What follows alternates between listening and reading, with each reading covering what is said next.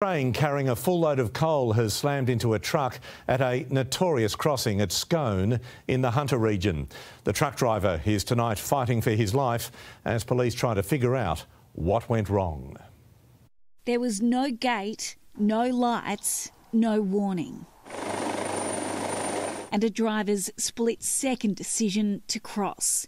His truck hit by a coal train and dragged 60 metres, the cabin ripped from its hinges. 29 year old local man Heath Nichols pulled out by a passerby. Apparently, he was unable to get himself out of the cab uh, and the bystander assisted him out onto the rail corridor and where he rendered first aid. The Scone livestock agent airlifted to John Hunter Hospital with critical head and chest injuries. Yeah, he's only a young fella, good boy.